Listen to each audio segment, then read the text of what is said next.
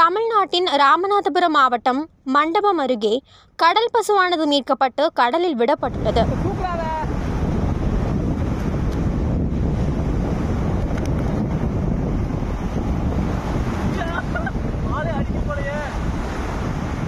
மன்னார் வளைகுடா பால்க்பே கட்ச் வளைகுடா மற்றும் அந்தமான் நிக்கோபார் தீவுகளில் இந்த கடல் பசுக்கள் மிகவும் ஆபத்தான நிலையில் காணப்படுகின்றன.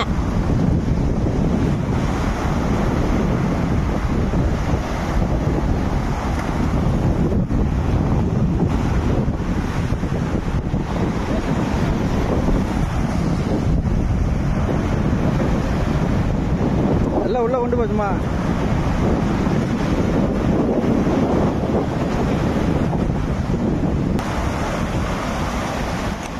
அங்கே போயிடுச்சு போயிடுச்சு போயிடுச்சு போயிடுச்சு